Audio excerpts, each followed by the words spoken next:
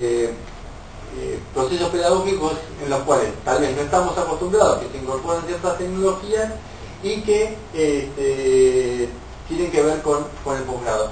Esto, esto también es importante decirlo. Muchas veces eh, naturalizamos el, encuadre tecnológico que tenemos en, la, presencialidad, ¿no? Esto decía el, pizarrón, el aula y demás, eso nos estructura y, este, lo, naturalizamos. Con, los modelos tecnológicos también hay muchas veces, eh, no, nos tenemos que encorsetar en los modelos tecnológicos que, existen. A ver, eh, existen ciertos modelos tecnológicos, ¿no? ciertas plataformas, ciertos entornos y demás, pero nosotros queremos hacer otras cosas y deberíamos pedirle a la tecnología hacer esas cosas. Este, son procesos por ahí lentos de, cambios tecnológicos, pero me parece que, no, no, nos podríamos quedar con ese encorsetamiento que nos provoca la tecnología. A ver, la tecnología, y acá vuelvo, desde el aula hasta un entorno, hasta una videoconferencia y demás. Este, me parece que esto lo, tenemos que tener en cuenta. Entonces, cuando hablamos de un modelo tecnológico enmarcado en, esta, en esta estructura del sistema, realmente la, tenemos que, la tenemos que pensar y vivenciar y exigir en torno a eh, estas cuestiones. No sé si, me llego a explicar con esto. Eh, si, nosotros queremos hacer práctica, bueno, este, ¿cómo lo hacemos?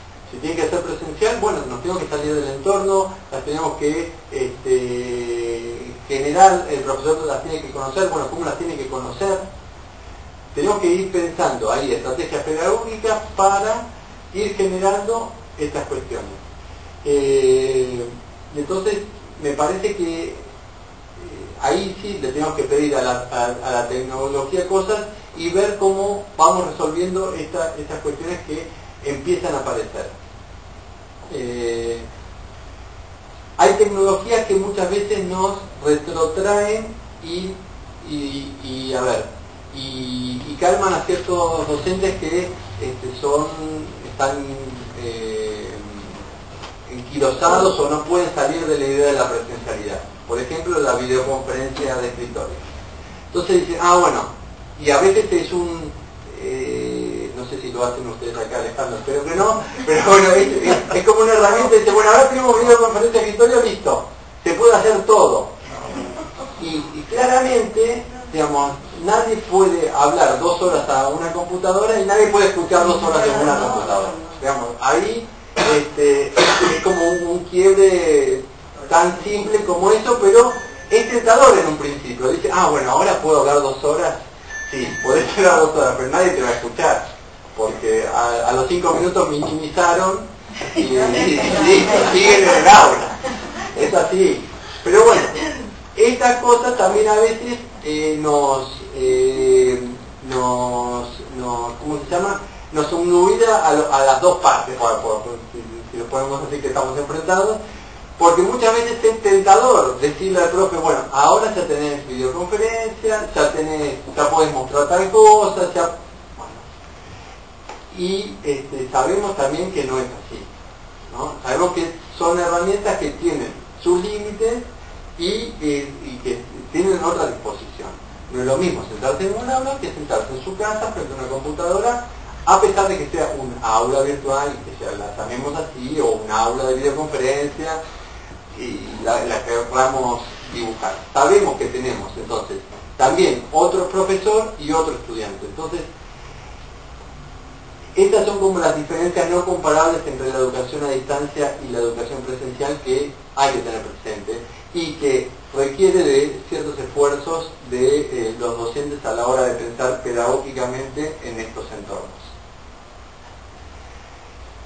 Estos entornos que me parece que los, profesores empiezan a, incorporar las tecnologías en sus aulas. Sí, pueden venir a hacer una, una, presentación este, con, ciertos modelos que no lo podríamos mostrar físicamente, entonces lo, nos muestran este, a partir de, de, la compu. Bueno, perfecto. este, hay que pensarlo cómo lo hacemos también en entornos virtuales y cómo les llega eso y cómo eh, evaluamos esos procesos que, generan, eh, que van generando los estudiantes. Así que, eh, parece que son cosas diferentes, que son modelos y estrategias que hay que asumir diferentes y que deberíamos este, tener en cuenta y no subirnos a esos espejitos de colores que muchas veces este, nos, nos son y decimos, acá finalmente está la solución. No, digamos, es, la mediación pedagógica siempre, siempre va a estar presente, siempre hay que generarla, siempre hay que pensarla y este, nada más que la tenemos que estructurar en, estos entornos. Bueno,